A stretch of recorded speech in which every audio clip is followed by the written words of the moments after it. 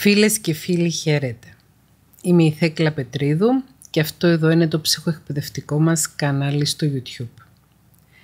Αυτό είναι ένα βίντεο το οποίο θα το ονόμαζα SOS και θα το βάλω μόνο στο playlist με τα SOS βίντεο.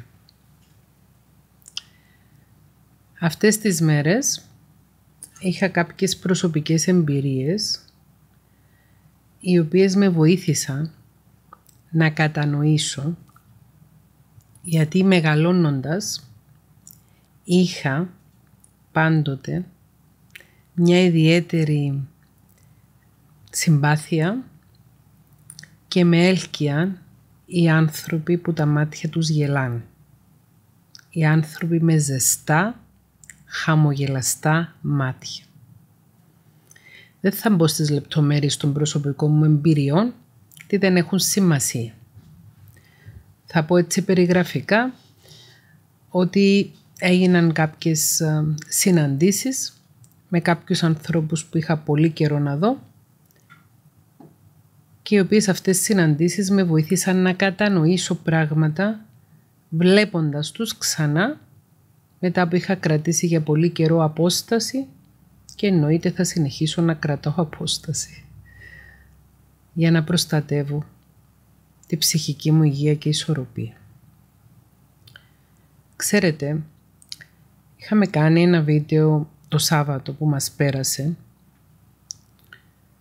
το οποίο κάποιοι δεν το κατάλαβαν και έγραψαν κάποια σχόλια λίγο περίεργα και τους έγραψα ξαναδείτε το βίντεο γιατί μέσα από το βίντεο θα καταλάβετε αυτά που λέτε και θα απαντηθούν οι ερωτήσεις σας ή ίσως μέσα από το βίντεο να είδατε τον εαυτό σας στη θέση των γονιών που η γλώσσα αγάπης τους, γλώσσα αγάπης τους δεν είναι αγάπη.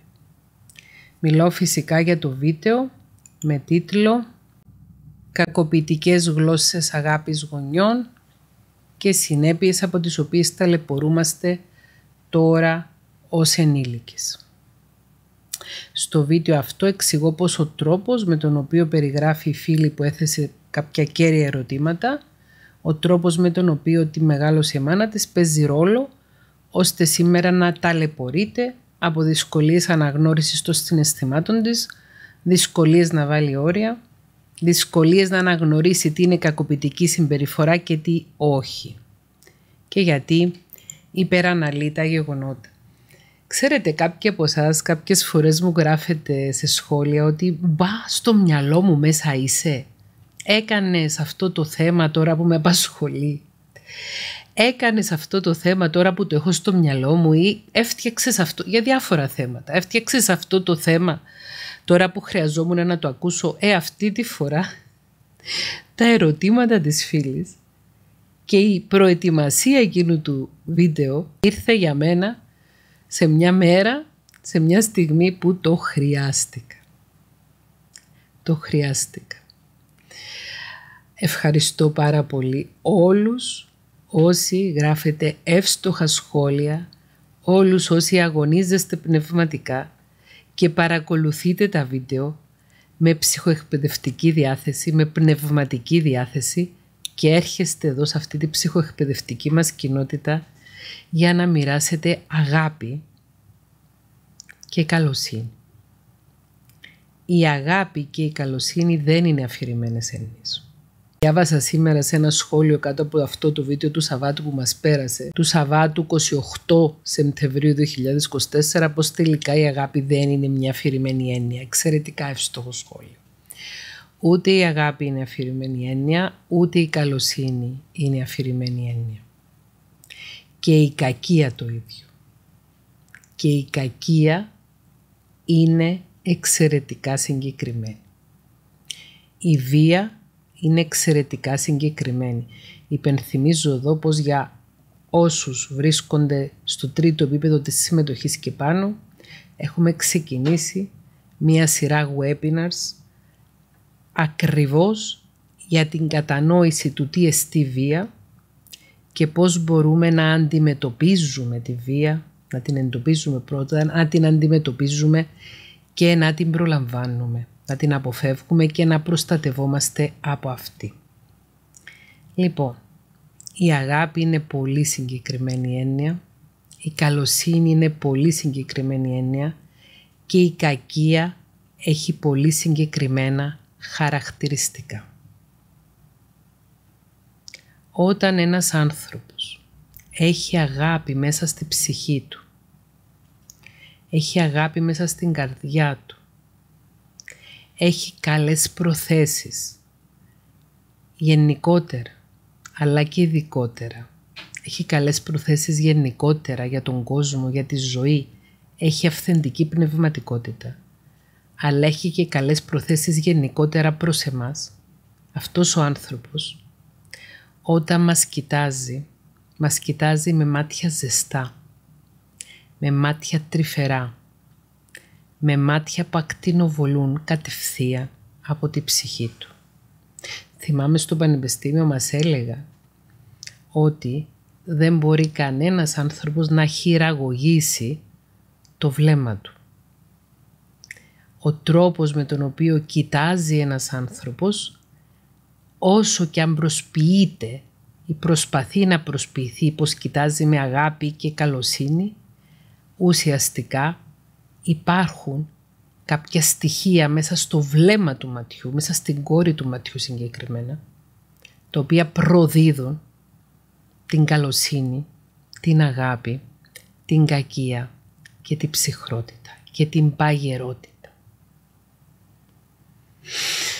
Όταν επικοινωνούμε με έναν άνθρωπο, όταν συναντάμε έναν άνθρωπο, είτε όταν συναντάμε έναν άνθρωπο για πρώτη φορά, είτε όταν συναντάμε έναν άνθρωπο ο οποίος βρίσκεται μέσα στη ζωή μας. Να κοιτάζουν πώς είναι τα μάτια του. Αν τα μάτια του είναι αυτό που λέμε στην καθομιλωμένη καθαρά. Αν έχει καθαρά μάτια, ζεστά μάτια, εκφραστικά μάτια. Αν μας κοιτάει με στοργή και τρυφερότητα. Αν μας κοιτάει με καλοσύνη. Οι κακοί άνθρωποι οι κακοποιητικοί άνθρωποι, οι ψεύτες, οι αλήτες, τα τσογλάνια μας κοιτάνε με ένα κενό παγερό βλέμμα. Κοιτάς τα μάτια τους και δεν μπορείς να διαπεράσεις την παγερότητα της θωριάς τους. Δυστυχώς, στα μάτια τους καταγράφεται η πτωμαΐνη της ψυχής τους. Έχετε συναντήσει σίγουρα ανθρώπους με πεθαμένο βλέμμα, με νεκρό βλέμμα. Ανθρώπους με μάτια που μοιάζουν σαν να μην είναι ζωντανά. Ανθρώπους οι οποίοι αποφεύγουν να δείξουν αγάπη και στην προσπάθεια τους να αποκρύψουν την κακία τους καταλήγουν να έχουν ένα βλέμμα ψυχρό, κενό και τρομακτικό. Αυτοί οι άνθρωποι μπορεί να είναι άνθρωποι που έχουν στην κοινωνία ένα καλό όνομα.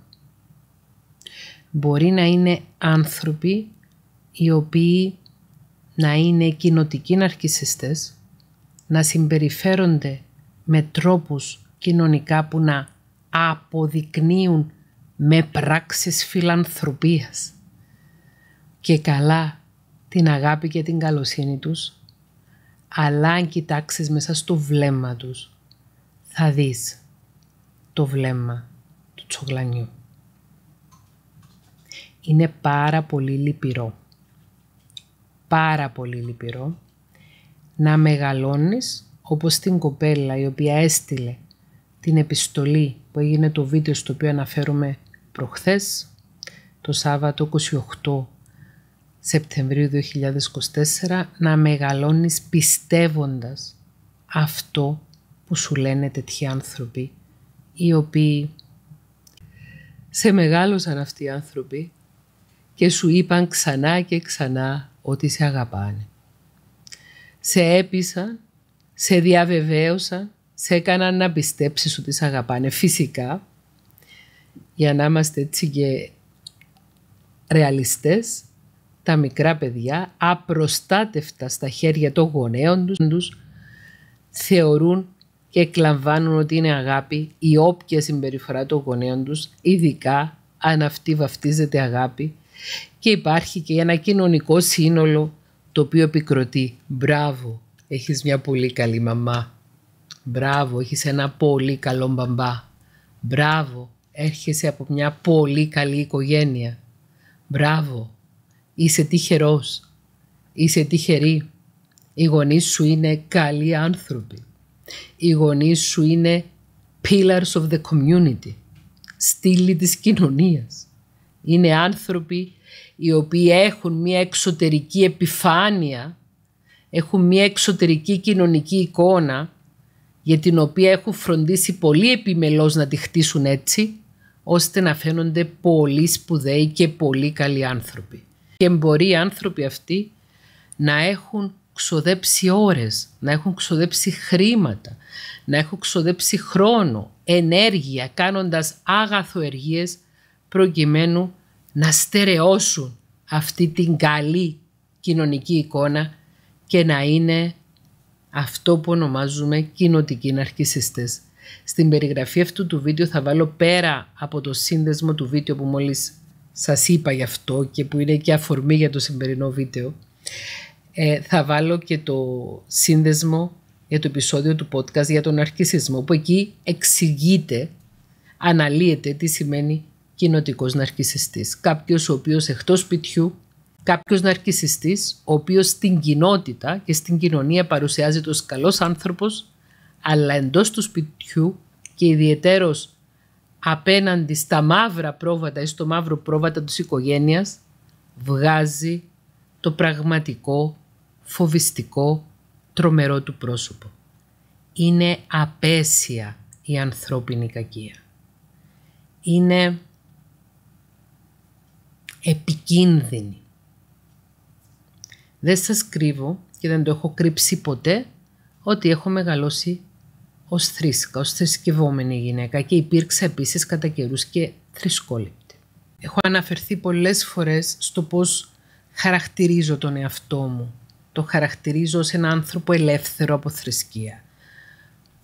Όχι ως ένα άθεο άνθρωπο ή αντίθεο άνθρωπο, αλλά ως ένα άνθρωπο ελεύθερο από τη θρησκεία. Όμως πιστεύω στην ύπαρξη του Θεού. Είμαι πεπισμένη ότι υπάρχει ο Θεός, ό,τι και αν είναι αυτός, αυτή ο Θεός. Πιστεύω ότι ο Θεός είναι αγάπη. Το πιστεύω. Και πιστεύω ότι οι άνθρωποι, όσο περισσότερο προσπαθούμε να γινόμαστε καλύτεροι άνθρωποι, να καλλιεργούμε αρετές και να καταπολεμούμε τα πάθη μας και τις αδυναμίες μας, τόσο περισσότερο νιώθουμε μέσα μας την αγάπη του Θεού και μπορούμε κι εμείς να είμαστε αγαπητικοί, θεϊκοί άνθρωποι. Δεν πιστεύω εγώ προσωπικά στην ύπαρξη του διαβόλου. Είναι θέμα πεποίθησης, εντάξει. Είναι η δική μου προσωπική πεποίθηση. Το γεγονός ότι εγώ δεν πιστεύω στην ύπαρξη του διαβόλου δεν σημαίνει ότι δεν υπάρχει διάβολος, εντάξει ξεκαθαρίζω εγώ προσωπικά ως άνθρωπος, όχι ως ψυχολόγος, ως άνθρωπος, δεν πιστεύω στην ύπαρξη του διαβόλου. Πιστεύω όμως ότι υπάρχει απίστευτη κακία μέσα σε ανθρώπους. Και κάνω τη σκέψη ότι διάφορες θρησκείες και ιδιαίτερα οι αβραμικές μονοθεϊστικές θρησκείες έχουν εφεύρει, τώρα είναι μια δική μου σκέψη λέω, ε, το διάβολο ως οντότητα για να αποδώσουν σε ένα κακό πνεύμα την κακία που ενστερνίζονται και εναγκαλίζονται τόσοι πολλοί άνθρωποι. Ξαναλέω, δεν είμαι θεολόγος, δεν είμαι εδώ για να κάνω διδασκαλία πίστης, μιλάω για τη δική μου προσωπική πεποίθηση. Για μένα προσωπικά δεν υπάρχει διάβολος ως ένα σαν τύποδας ενός καλού Θεού, ένας κακός έκτοτος άγγελος ο οποίος βάζει τους ανθρώπους να κάνει κακίες. Δεν υπάρχει για μένα.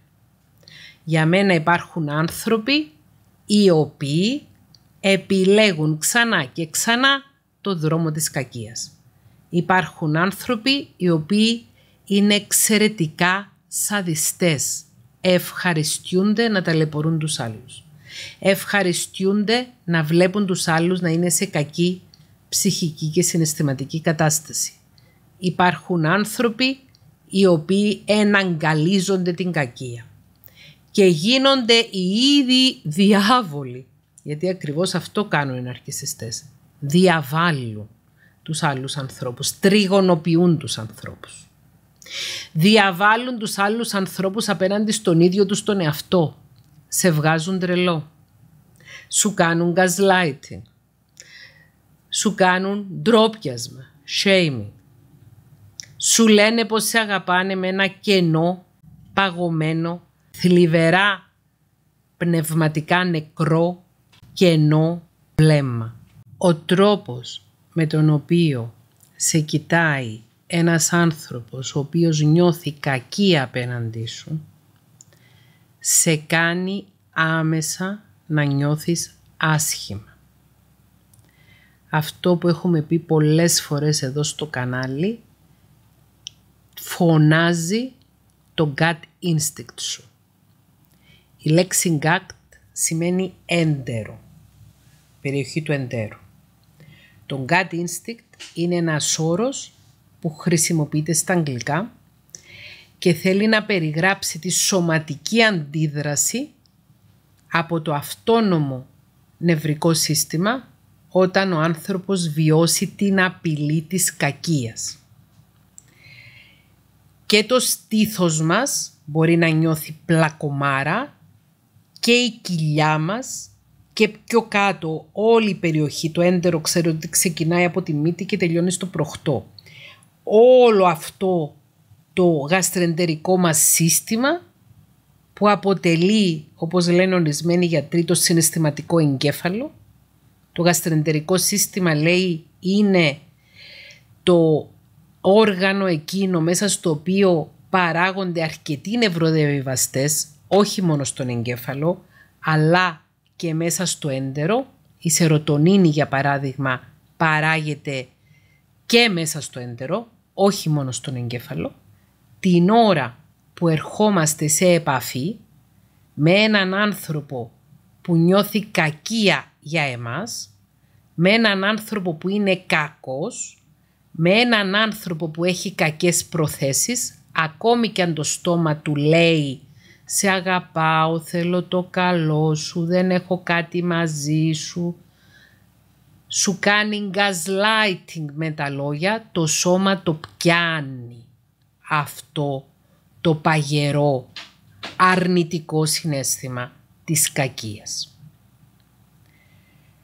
Είναι πάρα πολύ δύσκολο για ανθρώπους που έχουν μεγαλώσει σε κακοποιητικά περιβάλλοντα, όπου ερχόντουσαν αναγκαστικά ολιμερείς και ολινυχτής σε επαφή με ανθρώπους με κακές προθέσεις και με ανθρώπους που δεν ένιωθαν αγάπη προς αυτούς αλλά κακία και παρόλα αυτά χρησιμοποιούσαν το λόγο, τον ανθρώπινο λόγο για να περιγράψουν τον εαυτό τους ως κάποιον που αγαπάει τα παιδιά που κακοποιεί, ως κάποιον που αγαπάει τη σύντροφο ή το σύντροφο που κακοποιεί, είναι πάρα πολύ δύσκολο μεγαλώνοντας και να αναγνωρίζεις τα συναισθήματά σου και να αντιλαμβάνεσαι τα συναισθήματά σου και να συνειδητοποιείς ότι η επαφή σου, η εγκύτητα με τέτοιους ανθρώπους, το να συνομιλήσεις με τέτοιους ανθρώπους,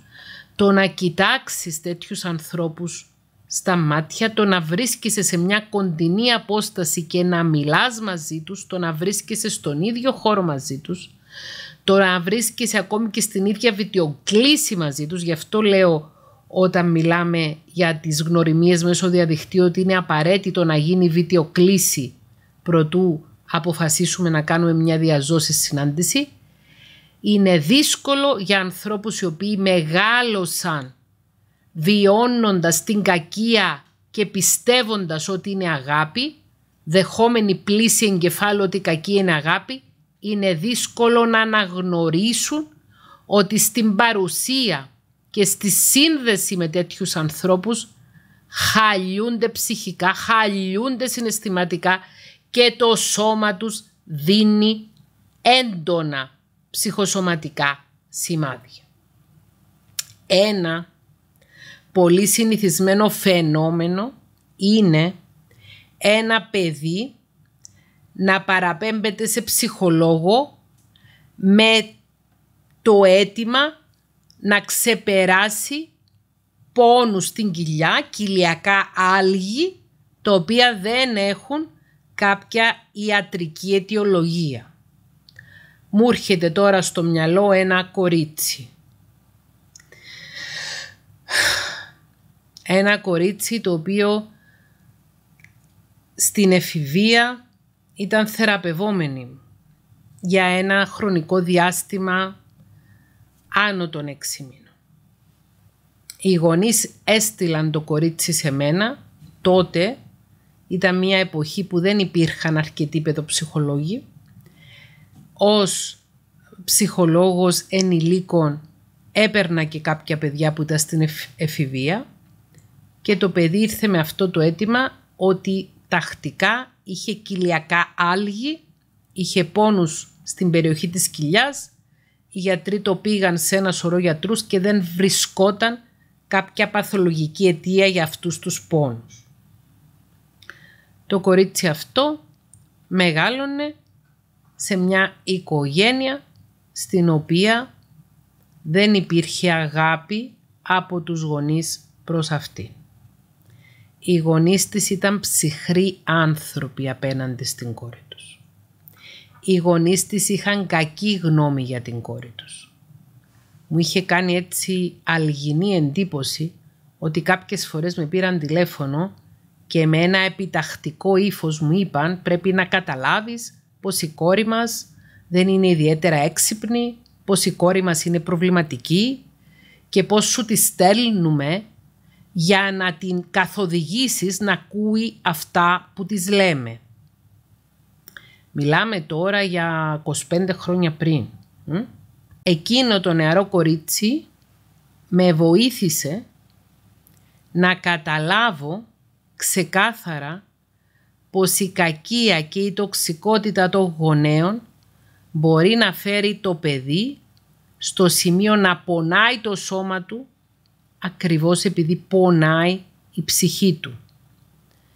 Και με συγκίνησε πάρα πολύ αυτή η ψυχή όταν σε κάποια φάση μου λέει «Κυρία Θέκλα, θα ήθελα πάρα πολύ να βάλω τα πράγματά μου σε δύο βαλίτσες και να έρθω να μείνω μαζί σου και να είσαι εσύ η μαμά μου». Και της εξήγησα φυσικά ότι δεν γινόταν αυτό το πράγμα, δεν υπήρχε τρόπος στην ηλικία που ήταν να φύγει από το σπίτι. Η κακοποίηση που τις έκαναν συστηματικά οι γονείς της ήταν ψυχολογική κακοποίηση. Δεν ήταν σωματική κακοποίηση.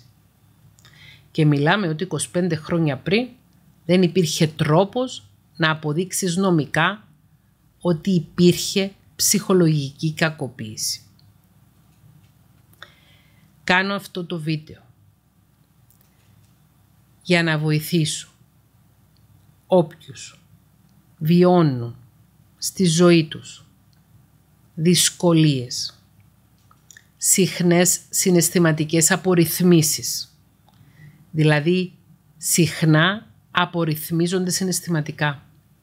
Συναισθηματική απορρίθμιση είναι η συνθήκη εκείνη όπου ένας άνθρωπος που πάσχει, υποφέρει από τη σύνθετη διαταραχή μετατραυματικού στρες ένας άνθρωπος ο οποίος κουβαλάει μια σωρία τραυμάτων στο υποσυνείδητό του με αφορμή ένα trigger, ένα ερέθισμα, αναστατώνεται και βιώνει συναισθηματική αναδρομή. Όχι μνημονική φλασιά, συναισθηματική φλασιά. Και νιώθει όπως ένιωθε όταν πρωτοτραυματιζόταν. Ένας άνθρωπος που απορριθμίζεται συναισθηματικά νιώθει εκείνη την απελπισία, εκείνη την αδυναμία, εκείνο το μπέρδεμα, εκείνη τη σύγχυση που ένιωθε ως μικρό παιδί καθώς οι άνθρωποι που του έλεγαν πως το αγαπούσαν, το κακοποιούσαν. Στην περιγραφή αυτού του βίντεο θα βάλω και το σύνδεσμο για τη σύνθετη διαταραχή μετατραυματικού στρες. Και επίσης είναι πολύ όμορφο και χρήσιμο το βίντεο που ανέβηκε χθες, Κυριακή 29 Σεπτεμβρίου 2024, ψυχίατρο και ψυχοθεραπεύτρια, η οποία αναφέρεται στη ψυχοθεραπευτική μέθοδο EMDR, η οποία χρησιμοποιείται για την αντιμετώπιση ψυχικών τραυμάτων του παρελθόντος, για απευαισθητοποίηση από ψυχικά τραύματα του παρελθόντος και σε εκείνο το βίντεο εξηγεί φυσικά η γιατρός ότι δεν είναι για όλους αυτή η θεραπευτική μέθοδος, πρέπει να γίνεται από ανθρώπους που είναι κατάλληλα εξειδικευμένοι και προετοιμασμένοι για να την πράξουν, ψυχολόγους, ψυχοθεραπευτές, ψυχίατρους, ψυχοθεραπευτές που να είναι εκπαιδευμένοι από ένα έγκυρο εκπαιδευτικό κέντρο και να είναι και καλοί θεραπευτές. Μιλάει δηλαδή για το κάτω από ποιες προϋποθέσεις μπορεί να εφαρμοστεί αυτή η ψυχοθεραπευτική τεχνική, αλλά σε αυτό το βίντεο η δόκτωρ Σοφία Κωνσταντινίδου μας δίνει πολλές πληροφορίες για το τραύμα και τη συναισθηματική απορρίθμιση και πώς όταν ένας άνθρωπος απορριθμίζεται βιώνει τα τραύματα που έχουν μέσα του να γίνονται μια ανοιχτή πληγή που να αιμορραγεί. Αυτό το βίντεο το έφτιαξα γιατί επειδή ζω ευτυχώς πλέον μια προστατευμένη ζωή επιτέλους προστατεύω τον εαυτό μου από τοξικές συνδέσεις, από τοξικές αλληλεπιδράσεις, από τοξικές σχέσεις. Είχα ξεχάσει πως είναι να συνεντηθείς με ανθρώπους, με κακία γενικότερα και κακία προς εσένα. Είχα ξεχάσει πως είναι να αντικρίζεις νεκρό βλέμμα, παγωμένο βλέμμα και την απόλυτη απαξίωση που δίνεται τόσο από το βλέμμα όσο και από έναν έντεχνο κακοποιητικό λόγο. Είχα ξεχάσει πώς νιώθει ένας άνθρωπος όταν βιώνει gaslighting, όταν βιώνει ακύρωση των συναισθημάτων του, όταν τον βγάζουν τρελό και προσπαθούν να τον κάνουν να πιστέψει κιόλας πως είναι τρελός. Ήταν μια υπενθύμηση αυτή για μένα. Ήταν μια υπενθύμηση γιατί είμαι τόσο ένθερμη υποστηρίχτρια της πλήρους διακοπής σχέσεων με ανθρώπους οι οποίοι μας έχουν αποδείξει εμπράχτως ότι τόσο οι προθέσεις τους για μας όσο και οι απόψεις τους για μας είναι γεμάτες κακία και απαξίωση. Εδώ στο κανάλι έχουμε ανθρώπους οι οποίοι βασανίζονται, ταλαιπωρούνται με πολύ δύσκολα ζητήματα. Η σκέψη μου πάει στην κοπέλα εκείνη η οποία έστειλε μία επιστολή που έγινε και podcast με τίτλο «Τοξικά ενήλικα παιδιά, τα αγκαλιάζεις ή τα σφάζεις». Η κοπέλα αυτή βρίσκεται στη συμμετοχή στο κανάλι μας και αρκετές φορές μοιράζεται μαζί μας στο τέταρτο επίπεδο στη συμμετοχή του πώς ταλαιπωρείται να αφήσει την ελπίδα πως το ενήλικο παιδί της μπορεί να την αγαπά. To let go. Είναι πολύ πιο εύκολο να αφήσεις πίσω σου έναν τοξικό γονέα, να αφήσεις πίσω σου έναν τοξικό αδελφό ή μια τοξική αδελφή. Είναι πολύ πιο εύκολο από το να αφήσεις ένα τοξικό παιδί. Γιατί ναι, και αυτοί οι οποίοι έγιναν κακοποιητικοί γονείς και κακοποιητικά αδέλφια υπήρξαν κακοποιητικά ενήλικα παιδιά γονέων που είτε και οι δικοί τους γονείς ήταν κακοποιητικοί προς αυτούς και ήταν η σχέση ενήλικα γονέα και ενήλικα παιδιού δυο ναρκισί μαζί, σχέση δυο ναρκισιστές μαζί ή οι γονείς τους θα μπορούσε να ήταν συνεξαρτώμενα άβουλα όντα τα οποία επέτρεψαν τα παιδιά τους να μεγαλώσουν έχοντας ως πρότυπα ισχυρούς και κρατεούς ναρκισιστές. Ξέρετε, υπάρχει και κατηγοριοποίηση ανάμεσα στους ναρκισιστές.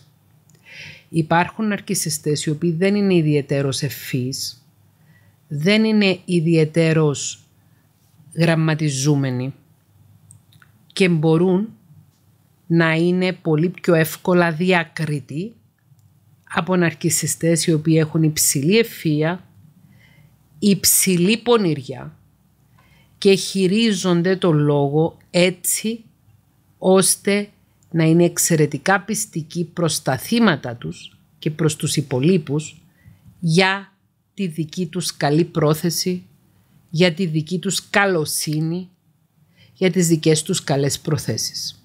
Δεν είναι όλοι οι ναρκισιστές βλάκες, υπάρχουν και ναρκισιστές οι οποίοι την όποια ευφία έχουν τη χρησιμοποιούν ώστε να εξελίξουν τον ψυχολογικό πόλεμο που ασκούν στα θύματα τους σε μια υψηλή τέχνη. Είναι πολύ πιο απλό να αναγνωρίσεις την κακία σε έναν άνθρωπο που δεν μπορεί να συγκρατήσει το θυμό του, που δεν μπορεί να συγκρατήσει τον παρορμητισμό του και ανοίγει το στόμα του και βγαίνουν από μέσα σημεία και τέρατα. Οπότε και είναι πολύ ξεκάθαρο να πεις κοίτα ρε παιδί μου αυτός ο άνθρωπος αποκλείεται να με αγαπάει όταν μου λέει ξεκάθαρα ότι έχει μια τόσο αρνητική άποψη για μένα και όταν μου βάζει κατάρες ή όταν μου προφητεύει κακές προφητείες. Είναι πολύ πιο δύσκολο να αναγνωρίσεις την κακία, τις κακές προθέσεις και την τοξικότητα ενός ναρκισιστή με πιο υψηλό νοητικό δυναμικό, ο οποίος χειρίζεται και χειραγωγεί τα θύματα του πολύ πιο έντεχνα. Όμως υπάρχουν σημάδια τα οποία όσο ευφύς και αν είναι ένας ναρκισιστής, όσο επιτιδευμένος και αν είναι ένας ναρκισιστής, μπορούμε να τα δούμε πάνω του, πάνω της και να τα αναγνωρίσουμε. Και αυτά τα σημάδια για τα οποία σας μίλησα σήμερα είναι δύο. Είναι το βλέμμα το ψυχρό, το βλέμμα το νεκρό, το βλέμμα το απαθές, το βλέμμα το οποίο δεν έχει ίχνος τρυφερότητας, αγάπης και στοργής και είναι το πώς μας κάνει να νιώθουμε. Εδώ, εδώ, εδώ. Είναι δύσκολο, είναι δύσκολο όταν έχεις μεγαλώσει σε μία οικογένεια στην οποία δεχόσουν συνεχώς προσβολές, ηρωνίες, nagging, bullying, gaslighting, όλα τα όπλα ψυχολογικού πολέμου από τα υπόλοιπα μέλη της οικογένειας και ήσουν το μαύρο πρόβατο της οικογένειας, είναι πολύ δύσκολο να αποκτήσεις μια καλή εικόνα για τον εαυτό σου. Χρειάζεσαι χρόνια, χρόνια, ίσως και δεκαετίες προσωπικού πνευματικού αγώνα, εντατικής ψυχοεκπαίδευσης, οξίας ψυχοθεραπείας και να βρεις και τον καταλληλό ψυχολόγο να την κάνεις αυτή την καλή ψυχοθεραπεία, ούτως ώστε να μπορέσεις επιτέλους να καταλάβεις ότι δεν είσαι κακός άνθρωπος, ότι δεν φταίς για τα πάντα, αλλά ότι έτυχε να γεννηθείς σε μια οικογένεια γεμάτη ναρκισιστές και εσύ να είσαι ίσως το χιούμορ του Θεού, το οποίο θέλησε να τρολάρει τους ναρκισιστές οι οποίοι αποφάσισαν να κάνουν παιδιά. Είναι μια δική μου σκέψη αυτή. Γιατί δεν το βλέπετε αυτό ότι υπάρχουν κάποιες οικογένειες που είναι καρανάρκ, καρανάρκης συγγονείς, καρανάρκησα τα χρυσά παιδιά και υπάρχει ένα παιδί σε αυτή την οικογένεια το οποίο να είναι γεμάτο αγάπη και καλοσύνη, γεμάτο φως και να λες μα από πού ξεπίδησε το παιδί αυτό; Πώς γίνεται να γεννήθηκε από γονείς κακοποιητές, από γονείς αδίσταχτους, έστω και αν έχουν μια καλή κοινωνική εικόνα, γιατί είπαμε ότι πιο επικίνδυνοι ναρκισιστές είναι αυτοί οι οποίοι προσποιούνται τους καλούς και είναι αρκετά επιτιδευμένοι ώστε να το πιστεύουν και οι ίδιοι και οι άλλοι ότι είναι καλοί και να κάνουν οπωσδήποτε τα θύματα τους να είναι πεπισμένα ότι είναι καλή η μαμά μου, είναι καλός ο μπαμπάς μου και εγώ με ένα κακό παιδί που συνεχώς στενοχωρώ τους γονείς μου. Είναι πολύ δύσκολο να αγαπήσεις τον εαυτό σου. Είναι πολύ δύσκολο να αποκτήσεις μια καλή εικόνα για τον εαυτό σου. Και πρέπει να είμαστε πολύ προσεκτικοί, πάρα πολύ προσεκτικοί να μην υποβάλλουμε τον εαυτό μας στην αχρίαστη δοκιμασία, να ερχόμαστε σε επαφή με αυτούς τους πολύ εκλεπτισμένους κακοποιητές, οι οποίοι μέσα σε δευτερόλεπτα, μόνο με το βλέμμα τους, το υποτιμητικό και το επιτιμητικό, μόνο με την κακία, την ψυχρότητα και την παγωμάρα του βλέμματος τους, αλλά και με την αφήγηση τους για εμάς, να μας κάνουν να νιώσουμε άχρηστοι, ανόητοι, σκουπίδια, να μας απορριθμίσουν συναισθηματικά και να μας ρίξουν στα τάρταρα. Φυσικά, ένας άνθρωπος ο οποίος είναι ψυχικά και συναισθηματικά και πνευματικά οχυρωμένος, ακόμη και αν χρειαστεί για κάποιους λόγους να έρθει σε επαφή με τέτοιους ανθρώπους, έχει και τη γνώση να αναγνωρίσει την απορρίθμιση, έχει και τα εργαλεία για να μπορέσει να επαναρρυθμιστεί. Στην περιγραφή αυτού του βίντεο θα βάλω και ένα βίντεο για τη συναισθηματική απορρίθμιση και πρακτικούς τρόπους συναισθηματικής επαναρρύθμισης. Θέλω όμως να σας πω προσοχή, προσοχή στα μάτια τα κενά, στα μάτια τα ψυχρά, στα μάτια που είναι παγωμένα και που ενώ τα χείλη μπορεί να λένε σε αγαπάω και θέλω το καλό σου, τα μάτια να προδίδουν την απίστευτη ανθρωπίνη κακία και το σώμα να δίνει σημάδια. Ας ακούσουμε το σώμα μας και ας εμπιστευτούμε αυτό που βλέπουμε. Γιατί το gaslighting σε κάνει να αμφισβητείς για αυτά που βλέπεις, αυτά που βιώνεις, αυτά που νιώθεις, αυτά που αντιλαμβάνεσαι. Στην περιγραφή του βίντεο του Σαββάτου 28 Σεπτεμβρίου 2024 του βίντεο για τις κακοποιητικές γλώσσες αγάπης υπάρχει μια σειρά με συνδέσμους που είναι εξαιρετικά χρήσιμοι και εξηγούν με περισσότερες λεπτομέρειες αυτά τα θέματα για τα οποία μιλήσαμε σήμερα. Στέλνω την αγάπη μου. Και να κοιτάτε για ανθρώπους με μάτια αγάπης, με μάτια γλυκά, με μάτια αυθεντικά, που να σας κοιτάνε και να νιώθετε πως σας αγκαλιάζει το βλέμμα τους. Να είστε κι εσείς, να αγωνίζεστε κι εσείς, ώστε να είστε τέτοιοι άνθρωποι. Αγαπητικοί, τρυφεροί, αυθεντικά καλοσυνάτοι. Ας κάνουμε τον κόσμο μας καλύτερο, ξεκινώντας από την απολύτως απαραίτητη αυτοπροστασία μας και από την απολύτως απαραίτητη καθημερινή προσπάθεια μας με πνευματικό αγώνα, ψυχοεκπαίδευση και ψυχοθεραπεία για να μπορούμε να χαιρόμαστε και να είμαστε καλά ακόμη και αν έχουμε γεννηθεί από τέρατα και αν έχουμε μεγαλώσει ανάμεσα σε τέρατα. Φυσικά αναφέρομαι και στο βίντεο, το επεισόδιο του podcast γονείς αυτά τα ιερά τέρατα. Σας χαιρετώ.